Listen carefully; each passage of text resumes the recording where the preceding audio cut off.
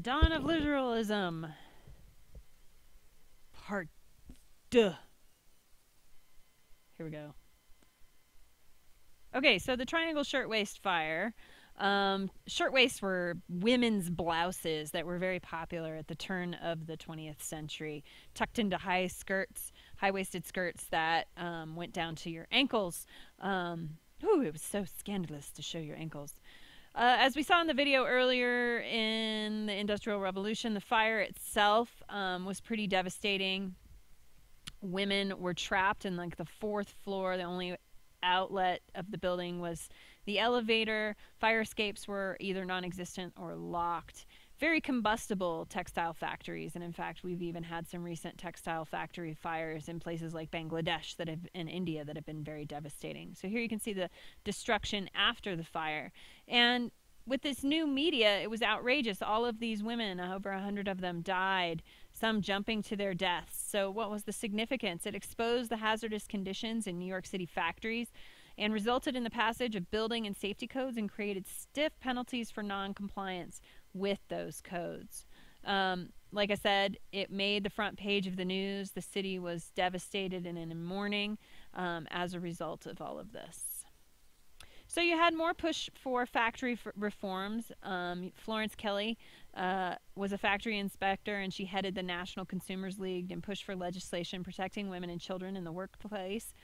And you also had the Supreme Court case Muller versus Oregon. And this is where factory workers in Oregon um, were or the factories were in violation of Oregon laws that, that had been passed, which were actually quite sexist, that said that women could not work longer hours and late into the night.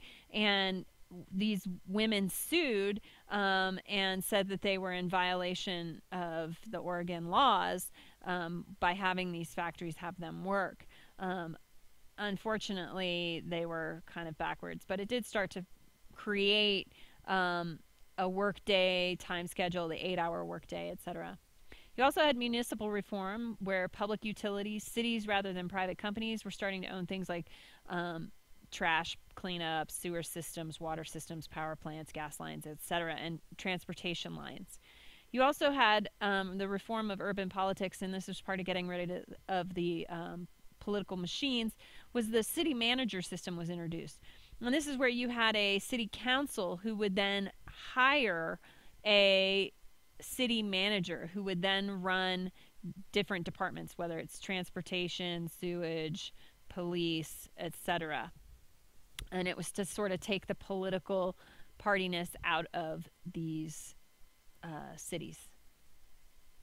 In the state, you had the Women's Christian Temperance Order Union, Women's Christian Temperance Union, uh, led by Frances E. Willard, um, pushing across the nation to get prohibition passed. And again, this was part of that social gospel. Alcohol was the ill of all society. And by 1950, two thirds of the states had prohibited the sale of alcoholic beverages. And the temperance organizations were actually successful in getting the 18th Amendment passed. Um, and here's the motto of the Women's Christian Temperance Union for God and home and every land national reform, you had the square deal coming from the Roosevelt, that's Teddy Roosevelt administration. And it was based on the three C's control of corporations, consumer protection, and conservation of natural resources. So some acid tests for the square deal was the 1902 Pennsylvania coal miners strike. Would it work? Would these things be able to prevent and get people back to work, etc.?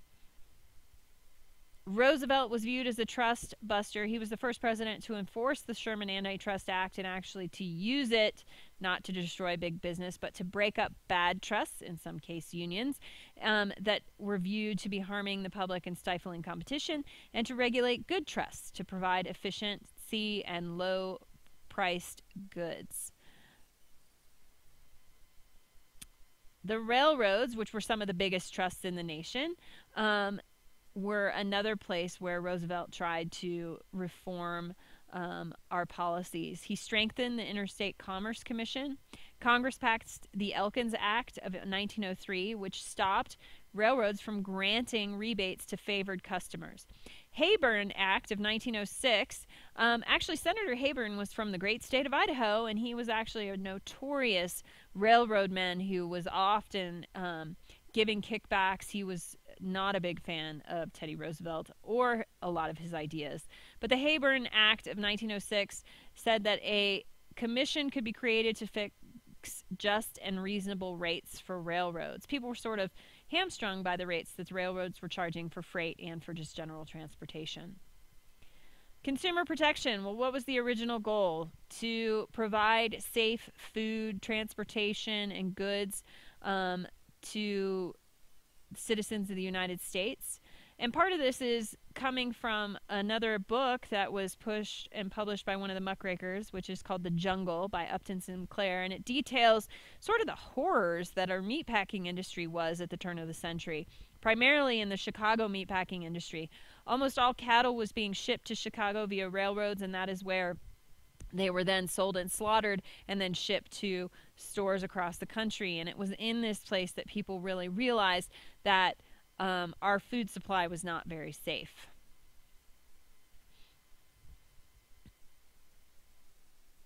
So the Roosevelt administration started to investigate and check into it, and they passed the Meat Inspection Act of 1906 and the Pure Food and Drug Act of 1906 as well.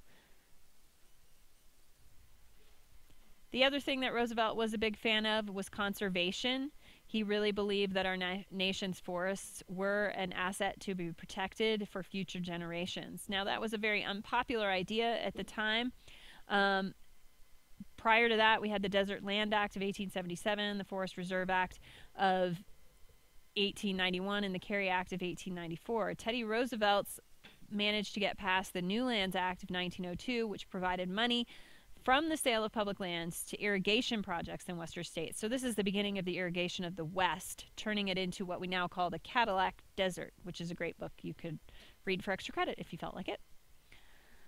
Other conservation achievements, he establishes the first 51 bird reserves, four game preserves, and 150 national forests. The national forests up here were extremely controversial. I'm reading a book currently called The Big Burn about those national forests and the 1910 forest fire. Um, and it was the biggest forest fire in the nation and just absolutely devastating. But people still did not want the national forest. There's always been tension between the government and the states with regards to that. He also created the National Forest Service and established five new national parks.